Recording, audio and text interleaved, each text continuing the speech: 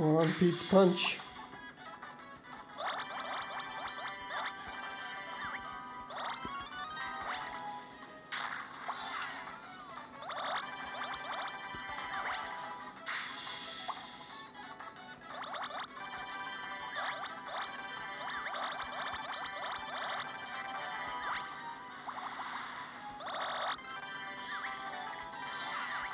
Pete's punch. No!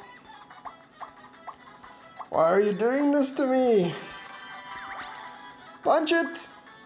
Okay, time bubbles are good too. There we go. That's what I'm talking about. There we go.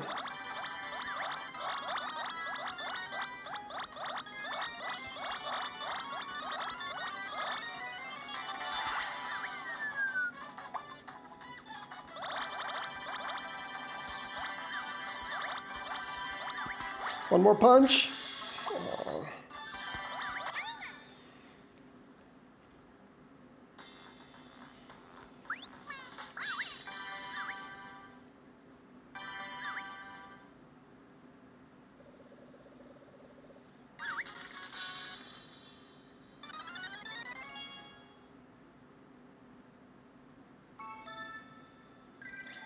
Ooh, level 23. All right. Okay, so uh, what happened there is essentially what I mentioned in the gameplay video for Genie, where I basically used his skill as often as I could. And because his skill clears so many Tsums, it almost always generates a score bubble.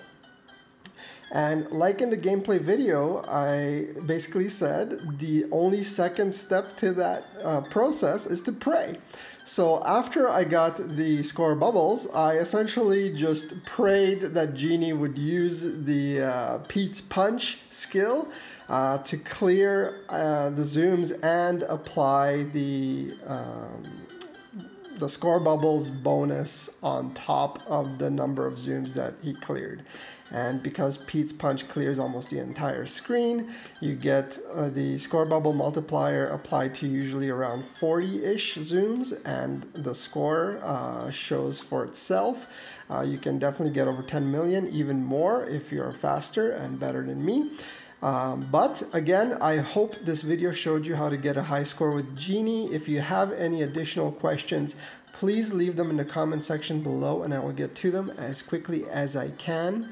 And again, thank you very much for watching and see you next time with another high score video.